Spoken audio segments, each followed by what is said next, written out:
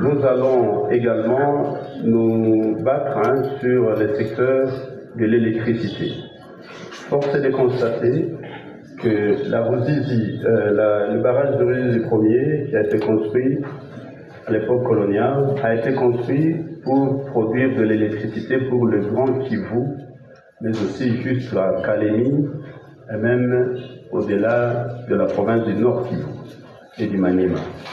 Eh bien, l'électricité qui est produite suggère que 20% est vendue euh, à l'extérieur, 40% à l'extérieur euh, chez nos voisins,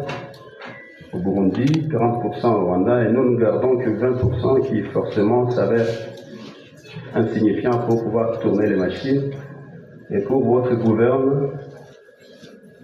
euh, force est de constater encore une fois que euh, la rivière euh, Ruzizi, étant à l'endroit où sont placées les machines, étant maintenant suffisamment polluée,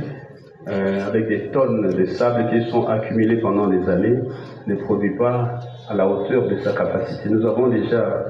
engagé des démarches aussi pour assurer que les cinq bobines qui font tourner ce, ce barrage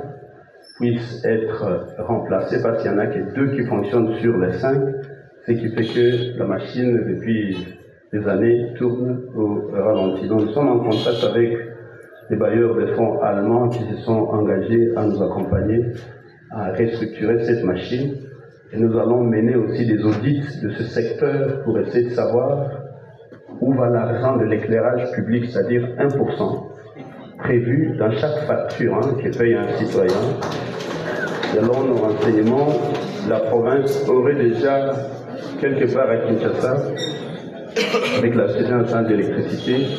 accumulé environ, environ 2 millions de dollars américains qui reviendraient à la province du fait de 1% qui est prévu pour la facturation que nous payons tous ici.